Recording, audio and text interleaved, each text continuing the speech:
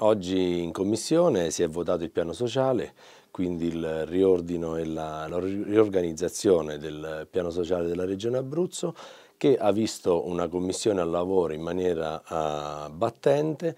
eh, con tante audizioni, gli ambiti sociali, le città capoluogo di provincia e ehm, si è arrivata alla definizione di questo piano che era fondamentale per la sussistenza e quindi la soddisfazione di tutti i comuni e i piccoli comuni abruzzesi. Il piano sociale quindi trova eh,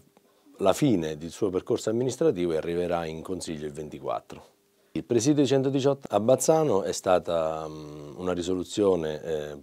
presentata dal consigliere Di Benedetto e dal consigliere Sant'Angelo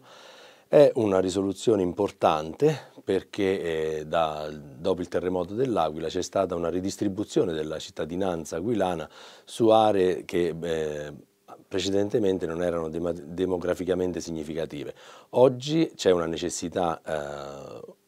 importante di mettere una postazione 118 nella zona di Bazzano